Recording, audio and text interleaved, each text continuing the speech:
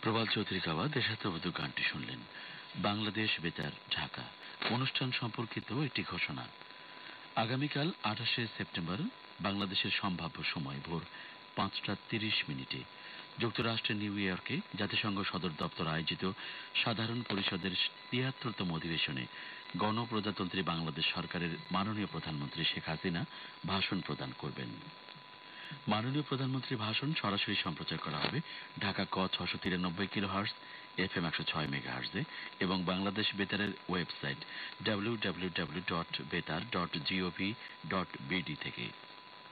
জাতিসংঘের সাধারণ পরিষদের তিয়াত্তরতম অধিবেশনে মাননীয় প্রধানমন্ত্রীর দেয়া ভাষণ পুনরায় শুনতে পাবেন।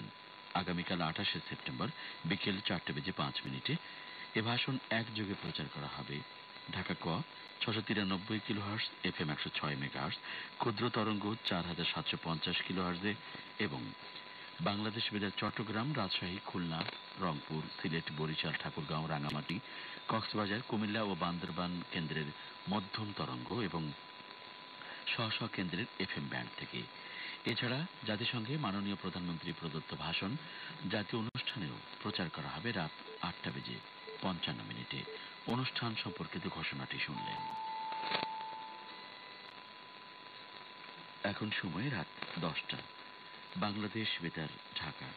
এই অনুষ্ঠান প্রচারিত হচ্ছে মিডিয়াম ওয়েভ ছশো তিরানব্বই কিলো হার্জে এফ এম একশো ছয় মেগা হার্জে এবং শর্ট ওয়েভ চার হাজার সাতশো পঞ্চাশ কিলো হার্জে এখন শুরু হচ্ছে খেলাধুলা বিষয়ক ম্যাগাজিন অনুষ্ঠান ক্রীড়াঙ্গন।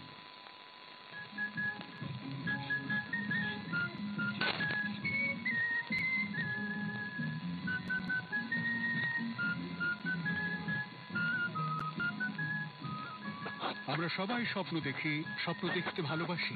কারণ স্বপ্ন আছে বলেই হয়তো আমাদের জীবন এত সুন্দর, এত রঙিন। কিন্তু কখনো কখনো বাস্তবতার কষাঘাতে স্বপ্নগুলো যখন ফিকে হয়ে যায়, তখন জীবনের সংজ্ঞাটাও পাল্টে যায়।